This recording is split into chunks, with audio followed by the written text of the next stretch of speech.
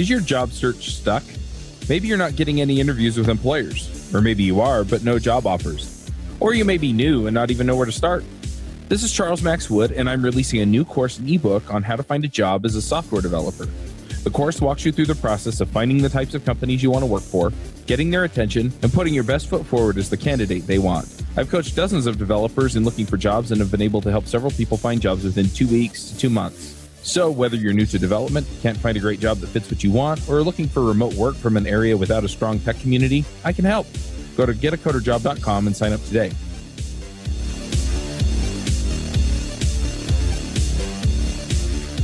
Hey, everybody, and welcome to another My JavaScript story. This week we're talking to Chris McKnight. We're probably also going to put this on My Angular story. Uh, Chris, do you want to say hi? Hello. Uh, do you want to just introduce yourself real quick? Let people know who you are and what you do. Sure. I'm I'm Chris McKnight. I'm a software engineer based out of Franklin, Tennessee, just outside of Nashville, Tennessee. I work for a a uh, medium-sized consulting company called IOLAP, iolap.com and I have been working on various technologies, including JavaScript, Angular, uh, NativeScript, and Node.js as well. Wow. yeah. Cool. Uh, well, this this podcast is focused around telling your story and letting people know how you got into programming and things like that. Uh, just give everybody an opportunity to take away whatever it is that they will from from what you've been through to get us started, I kind of wanted to just dive in and talk about how you got into programming. Yeah, sure. So I was really big nerd in high school. Grew up in a small town in Louisiana. We didn't have a computer science program, so I kind of read books, picked it up mm-hmm. myself, started writing uh, some C++ and PHP. And I mean, I had maybe one person in the school that knew what I was talking about. You know, kind of bounce ideas off of him. And uh, tried to pick up Perl, and the Perl book was really daunting. So that's when I kind of switched towards PHP because I wanted to do more web development instead gotcha. of using C and writing these little console programs. And really, uh, really takes me back. I was using C with Visual Studio 2003, and uh, it's just right after Visual Visual Studio or Visual Visual C6 uh, actually came out. Mm-hmm. So it was really back in the day, and um, Microsoft Foundation classes were a thing. So you could write Windows applications in C++ and call into the native the native Windows uh, functions. But yeah, moved into PHP and uh, then started working for a small consulting company in Baton Rouge, Louisiana after I, gradu- after I graduated from LSU. And so, do you have a CS degree then, or? I did. I do. I have a computer science degree with uh, secondary discipline and mathematics. So it's a minor plus six hours or nine hours, something like that. Mm-hmm. Not a not a whole lot of not a whole lot of math, but I guess more than more than the normal. right. Um, yeah. So I graduated from LSU. Picked up. Actually, got a job offer before I even graduated, doing some um, did some part time kind of building out applications for that company uh, because they were just swamped with the. They had two developers at the time that were full time, and they needed to bring on some some more help. So I was writing PHP with uh, Symfony, the Symfony framework, one dot one dot two, one dot three, one dot four. We had a couple of different applications built in each one. Then they said, "Hey, we we use jQuery a lot, so here's this application. Rewrite as much of this backend rendering code and PHP into jQuery and give them a nice uh, user user experience and user interface to mm-hmm. to uh, actually use the the clients I'm talking about. So I started, of course, fumbling around with jQuery and not really learning JavaScript. And I guess I really didn't learn JavaScript until two years after that point.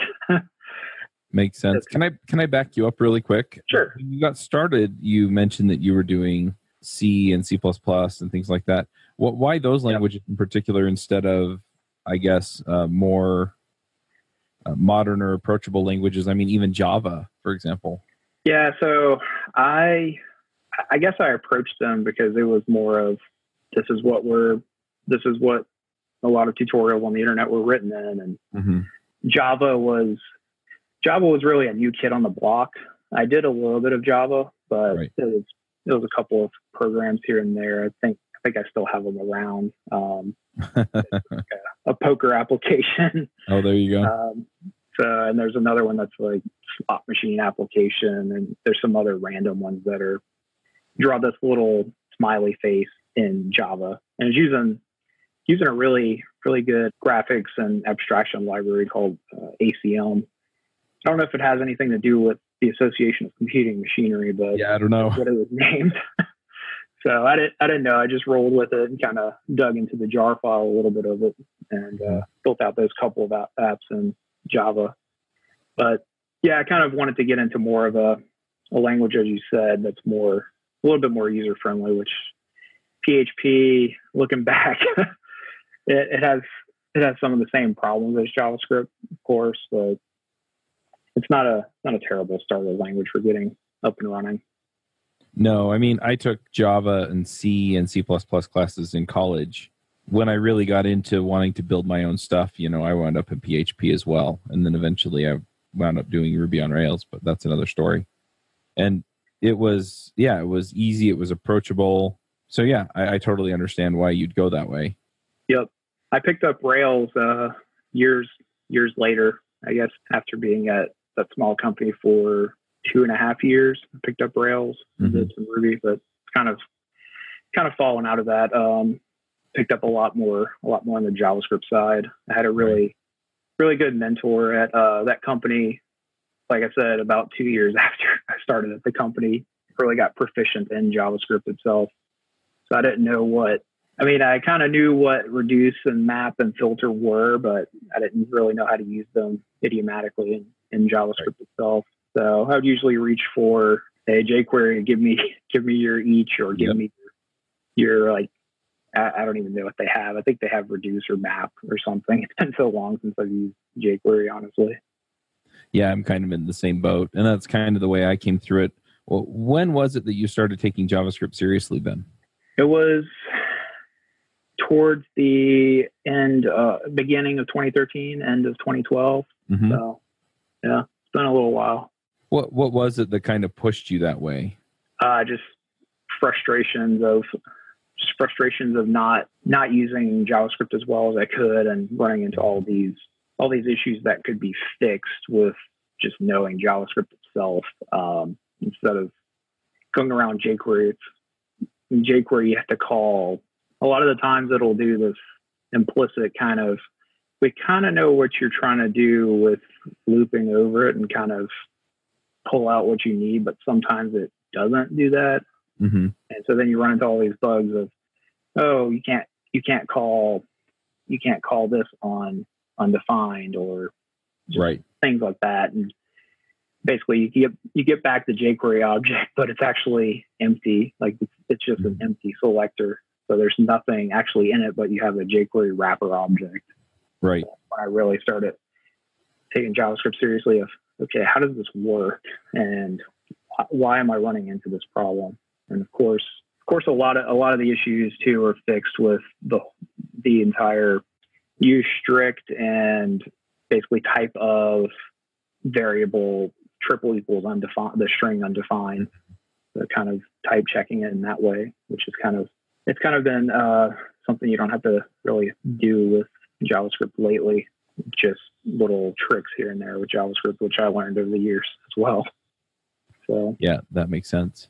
So it sounds like it was more out of necessity and avoiding certain pain points with that came up just from not knowing the language. Yep, exactly. And even more of those pain points have been have been reduced with I've been using TypeScript for the past two years. TypeScript and Angular started in Angular 2.0.0 and now it's up to version six and version seven should be here shortly. Mm-hmm. And a lot of those, hey, you tried to call you tried to call a number method on a string or vice versa. So you catch that at actual like app development time really, Right. really fast. Yeah, because you have the TypeScript. It has anyway. It has a, a process running that it checks against. So Yep, exactly. And so it catches a lot of those, a lot of those easy, Yeah. mistakes like that, like those easy bugs where it's, hey, we had this ticket come in and it's like, oh, okay, well, it's a five to 10 minute fix and then Mhm. 15 to 30 minutes to deploy it to production. So it takes a lot of that away. It's still not, still not bulletproof, I, I would say, because some of the time, sometimes you can say, you just say, hey, I want to ignore it and say it's any type Right. or or it doesn't give you runtime guarantees. So something something external could come back and it's in it's in a weird state that you weren't expecting from an API, for example, and you'll have to take that into account. But Mhm.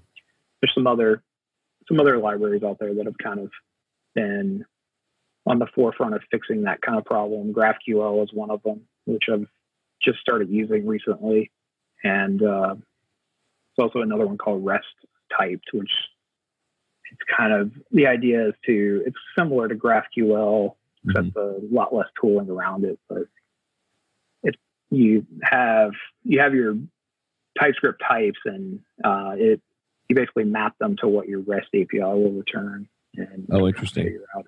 Yeah, interesting wrapper around around making REST calls. Yep.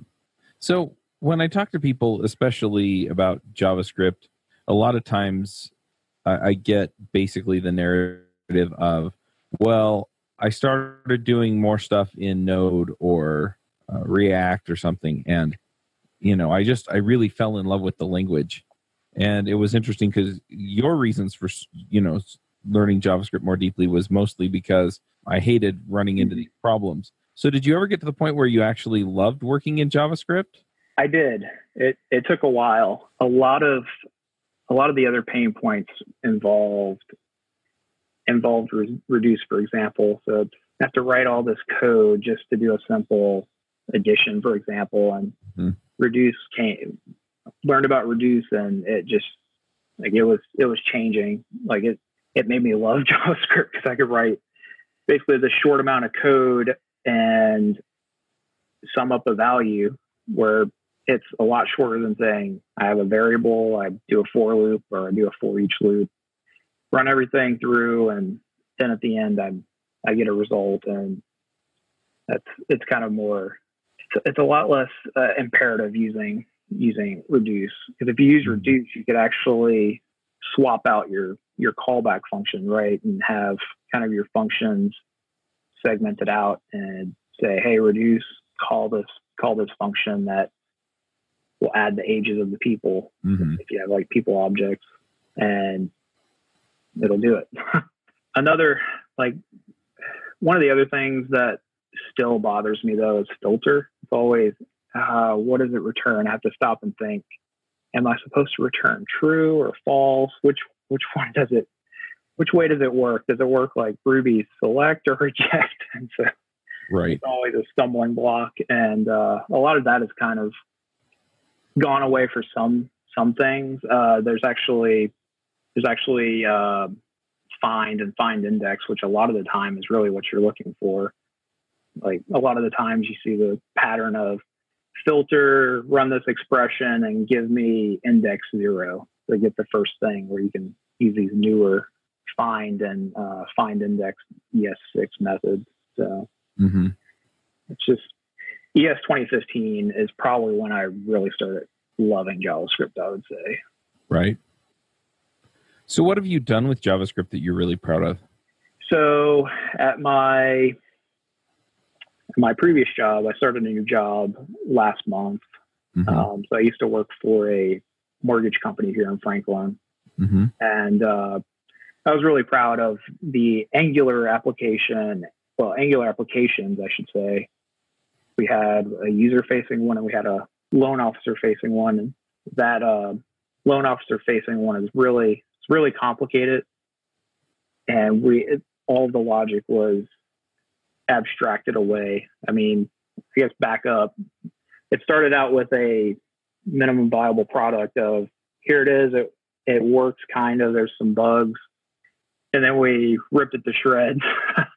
um, coworker and I, and put everything into logical like feature modules, and that's really really where what I'm proud of is that application. And at least I know I left and it was in a good, a pretty good state.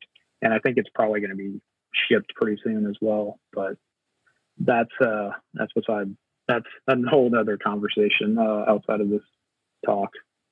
But it was using Angular, latest and greatest. We had some libraries which extra- abstracted everything from authentication to our our what our components would look like in the application, and we plugged them into two separate applications. We had, like I said, we had the user facing and the loan officer facing one, and we had a shared library that they would both pull uh, components out of.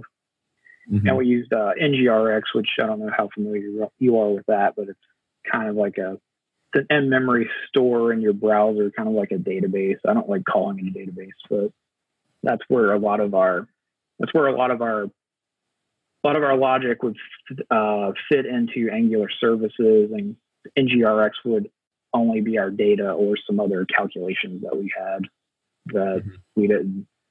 We wanted the calculations in our components, and we didn't want to run the calculations every time because of how Angular change right. detection works.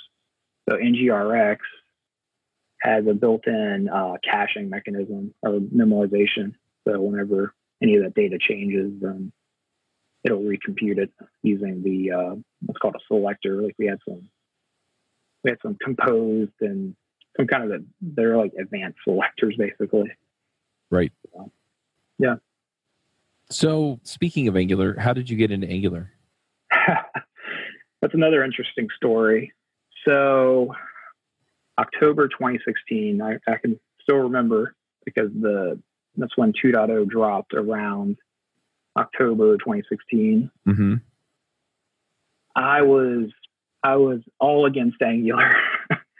um, manager came to me and said, "Okay, we we need to build applications. We need to build them. We need, we need to build really good front end UIs, unit testing, the whole right. the whole nine yards. it has to be quote unquote enterprise." So he came to me and said, "All right, you do some research on React since I was I was big into React at the time. I had written a couple of, I mean, tutorial applications, and I had started migrating an application to to React. So I looked into React for a couple days, and I I just wasn't impressed with the tooling at the time. It was it was kind of difficult to get set up. I didn't I didn't feel like I was getting anywhere very fast, especially with the forms aspect of it. Mm-hmm. And so then I said, all right, well, I think I think I've found enough with React. right. I think I've kind of explored it enough. But then I explored Angular, and I just learned and I learned about Angular as 2.0 at the time, and just did a deep dive on uh, Egghead.io, going through the through the basics of Angular course and learned learned a lot and I mean maybe two days and got got actually pretty decent decent at Angular. Then um, once I saw how fast I could build stuff, especially on the form side, I kind of just was pulled into Angular and just kind of moved on down the line. I guess I guess six months later, I was writing Angular applications with NGRX and abstracted logic, just uh, services and Angular, just they made they made sense to me. Mm-hmm. Like putting your code and your services and abstracting that logic out into services, especially if it's going to be interacting with third party like API or any sort of right. API.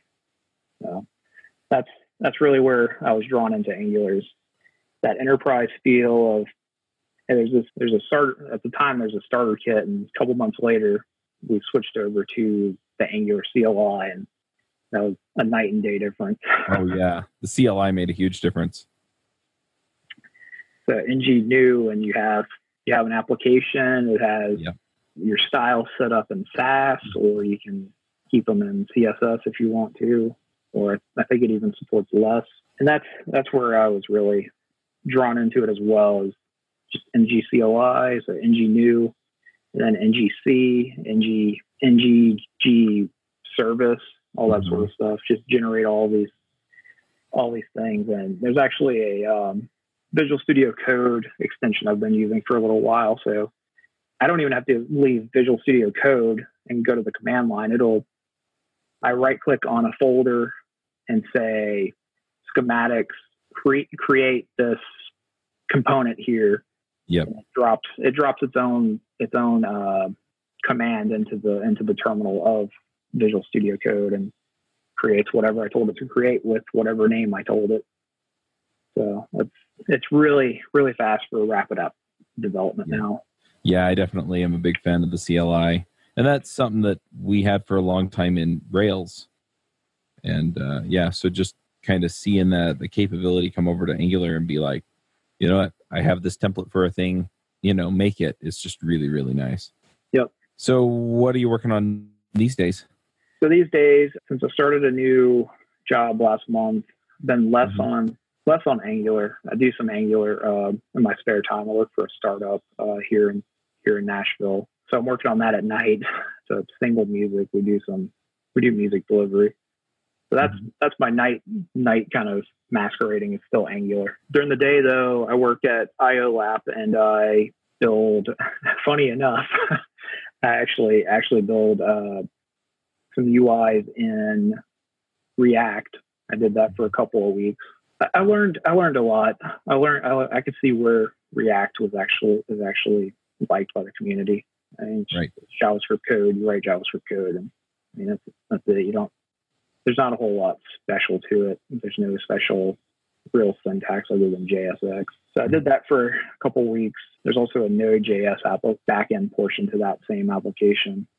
I dug into that a little bit, got a little bit modernized and some cleanup and refactoring sort of things. Now I've actually moved into building a prototype for a potential new client in Angular NativeScript. So Oh, back, nice. back to Angular. Yep. Uh, so I've been doing that for the past three weeks now. This Mhm. be the third week, and I've been enjoying NativeScript.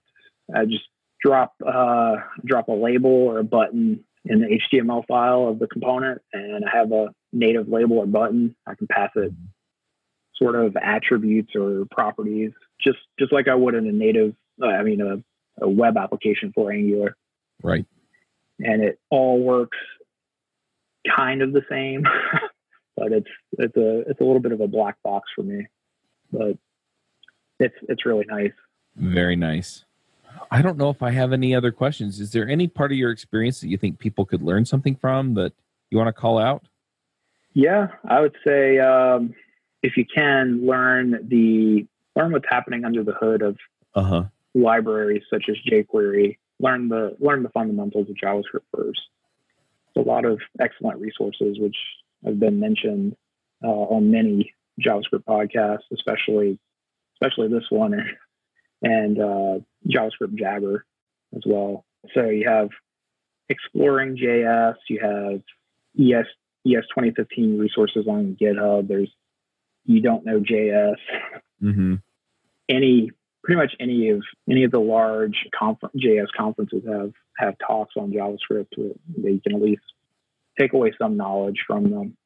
And uh, I mean, just keep learning and keep at it. I, I the biggest thing, of course, is type coercion. So kind of figure out when you should use double equal versus triple equal. Most of the time, most of the time it's triple equal.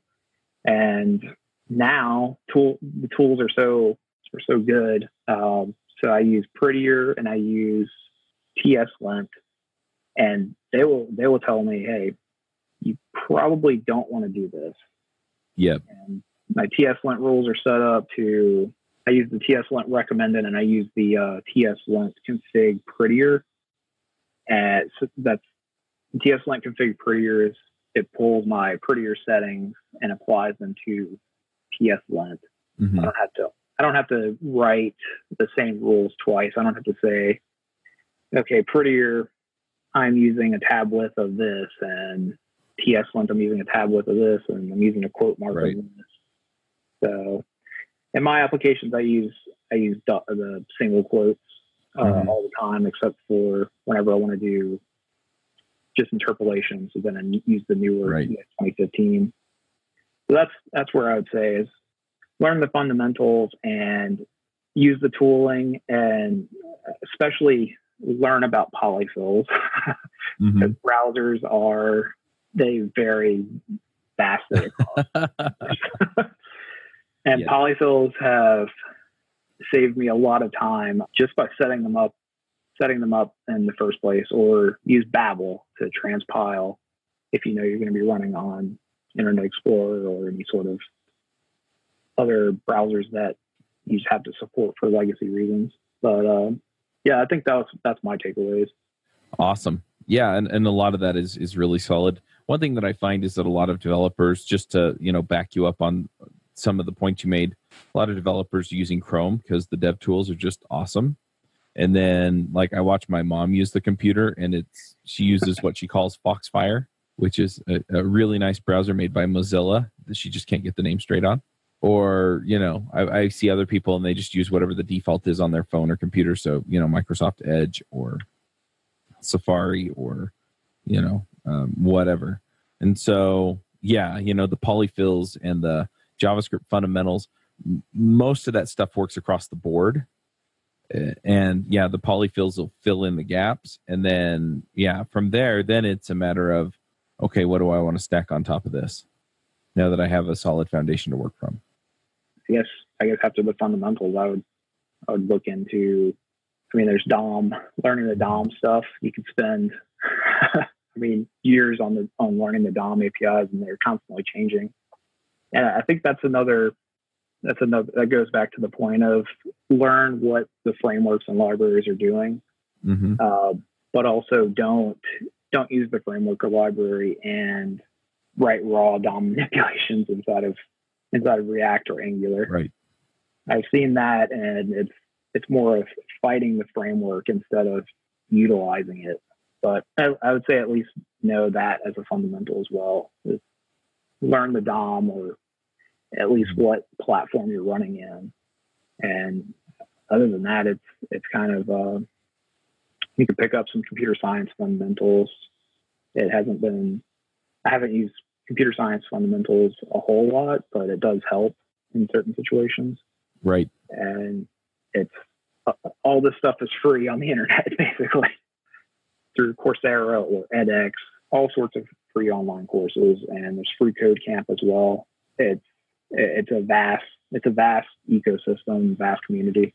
hmm But I'd say also don't get overwhelmed.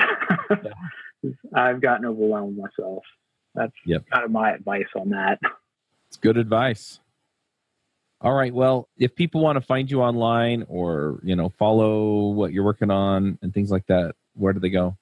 Yeah, best places are GitHub and Twitter. I have been working on a personal website slash portfolio. I haven't published anything yet, but Twitter and GitHub are the best uh, pl- best places. I have the same username. It's CMCKNI3, Mhm. which comes from my LSU PAWS ID from back in the day.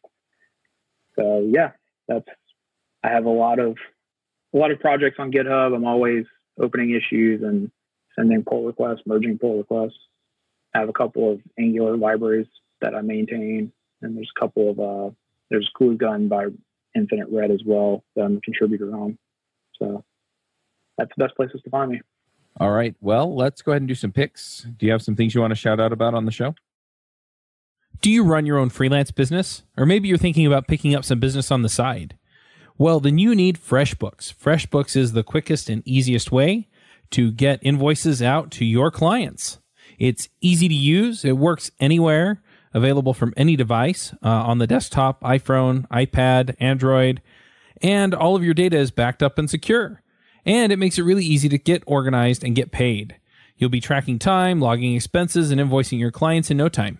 You can also save time billing, freeing up several days per month to focus on the work that you love, and you get paid faster. FreshBooks customers are paid on average five days faster because there's a link on the invoice that says pay me now. And it's a great way to grow your business. Plus, FreshBooks is offering a 30 day trial. That's right, 30 day trial if you try them out. So go to gofreshbooks.com slash devchat and enter devchat in the how did you hear about us section. Once again, for a 30 day trial, go to gofreshbooks.com slash devchat and enter DevChat in the How Did You Hear About Us section. I do. So um, I mentioned earlier that I'm using an extension in VS Code to generate Angular components and services and modules, all, all the sort of things. It's called Angular Explorer, and it you install it. If you're in a if you're in an Angular project, it detects your Angular.json file or your dot Angular minus CLI.json file, and you can right click on any any folder in your project and say schematics. It'll prompt you prompt you at the top like it does for the, like like the command palette command palette style. You type in what, or it gives you a list of the schematics you want to run it on. Which a schematic is a collection of generators. So kind of like Ruby rake files. You can write your own kind of generators or Rails right. generators. Select the schematic. It'll prompt you in the next prompt to say, what do you want to generate? You pick component, service, and finally it'll prompt you and say, what do you want to name it? And you name it just like you would on, on the command line. That's basically NGG component and then the name.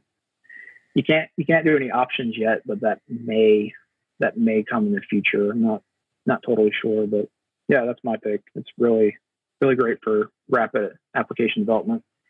And I would also say I picked VS Code. I've been using it for a year and a half now, and it's it works great. There's extensions for NativeScript, Angular Explorer, and Git, Docker, Azure, you name it. And that's that's my second pick. And I have one more pick, which is less on the tech side, but it's I guess I guess it is it's tech, but it's also personal finance. Mm-hmm. I've been big in personal finance for a few years now. Of just staying staying out of debt or not going into a lot of debt when possible. And it's the uh, Swish app. And what it is is it's it's actually built in NativeScript, which is interesting. It's personal finance app to track your spending, kind of like mint.com. Mm-hmm. It walks you through create an account, you link your bank accounts, which I think they use the same sort of API as mint.com.